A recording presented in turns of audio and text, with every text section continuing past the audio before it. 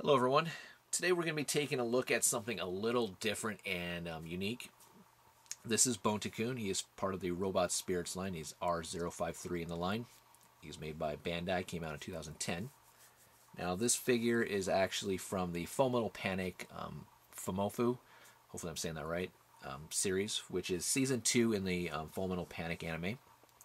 Very unique character. Never really thought that we'd actually get a fig of the character, but um, I'm glad that Robot Spirits gave this to us because he's absolutely fantastic.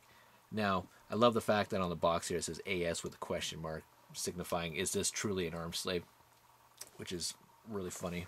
Now, we get to see in the packaging here some of the accessory pieces, which I'll go into more in depth um, after I open up the package here. But nice little picture of Bone there with his patented shotgun.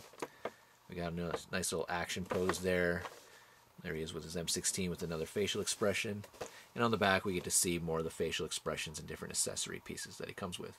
And then we can see that Sousuke Sagara is actually the human being inside of the um, costume character here. All right, let's take a look at the fig now. All right, before we get into the fig, just wanted to showcase on the back, it's kind of unique that instead of just having a solid gray or black piece back there, like we usually get with the Robot Spirit figs, we get an actual um, schematic of Bonta-Kun, which is kind of nice. And here he is in the clamshell.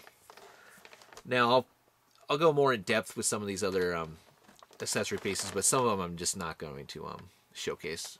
There's some various clips down here, which aren't that big of a deal. It does come with a hand grenade, baton, different little um, paw-like um, hands, I guess, or whatever you want to call them, so you don't have to have the actual holes. You just have them um, normal, I guess. Sousuke's head, different facial um, expressions, this kind of like sweat or expressive mark. He comes with a handgun, his um, shotgun, and M16.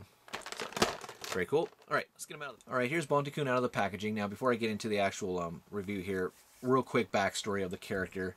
Sousuke Sagara, which is this guy right here, is the main character in the Full Metal Panic series. He's the bodyguard to Kaname Chidori.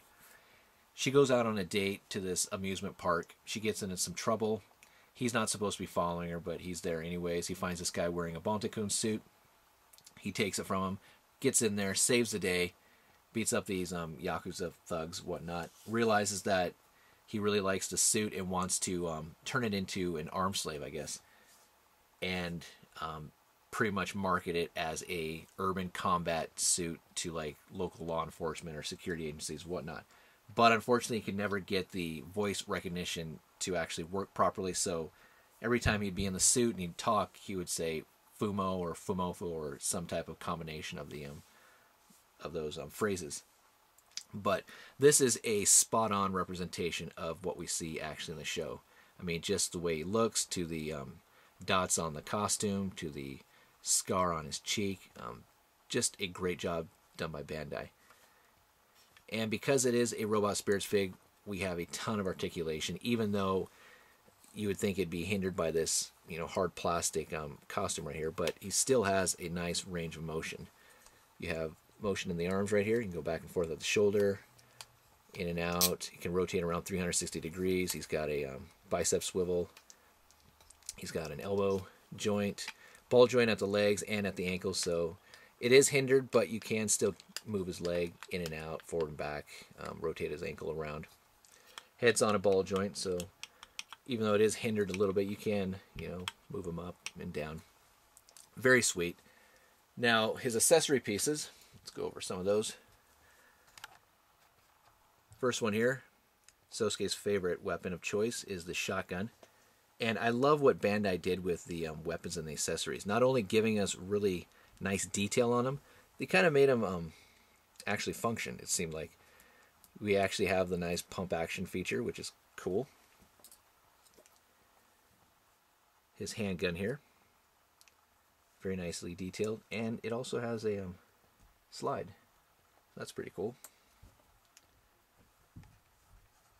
His M16 actually has a removable clip with a painted round in there. Nice touch. And then we have some nice details with his hand grenade here. And baton. Very, very sweet. Now, does come with some other facial expressions. So you have this. It looks like he's got his angry face on. You also have kind of the worried kind of look, and then the kind of close the eyes. I can't believe what you just said type of look, I guess. And to change out the uh, faces, you're just going to pop off the head, remove the face.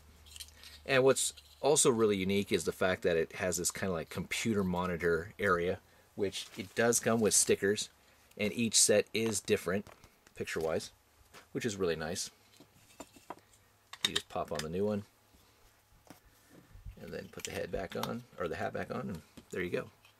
And as far as weapons, you can, um, they have these little pegs here, and you just plug them into the front of the hands. And he does come with a, another pair of paws, whatever you want to call this, hand or whatnot, that don't have the holes. So if you don't want to have that right there, you can do that too. And again,